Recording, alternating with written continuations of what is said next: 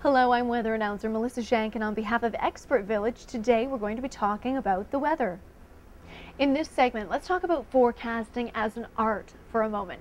Many people think that weather forecasting is for only the scientific natured people, but uh, many artists actually really do enjoy the weather as well. And Art does play into uh, weather forecasting, especially if you're going to translate that into a television position as a weather announcer, because not only do you need to be able to interpret the weather, but you also need to be able to draw the weather, because all of the maps that you see usually are drawn by someone. So if there are uh, the warm fronts and the cold fronts that you need to relate to your audience, you are going to be the one drawing them on the boards. So you'll see with this Futurecast here, you need to be able to activate this and see, and be able to really predict um, by reading the maps, which we've talked about in earlier segments, how to interpret maps and weather plots and uh, different models on the computers.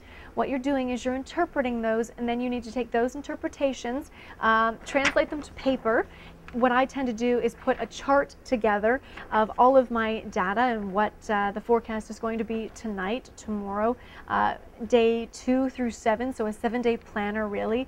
And then you're going to look at your temperatures and how much precipitation is going to be coming and what the sun times are, the uh, sunrise and the sunset. And you put all of that information together and then you build your graphics. And this is where the art form really does come into play, where you are talking about not only the temperatures, but uh, showing pictures of uh, pictures that people have sent in from the community, but you are doing all of the graphics related with that.